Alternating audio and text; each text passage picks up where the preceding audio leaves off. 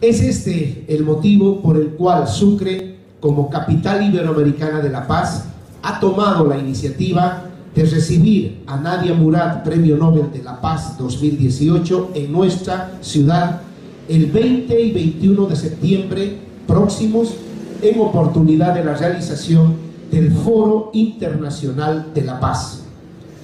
Estamos muy conscientes que esta llegada de Nadia Murad generará una vitrina de denuncia en el ámbito mundial a partir del epicentro de nuestra capital constitucional. Invito y convoco a la sociedad sucrense, a la prensa chuquisaqueña,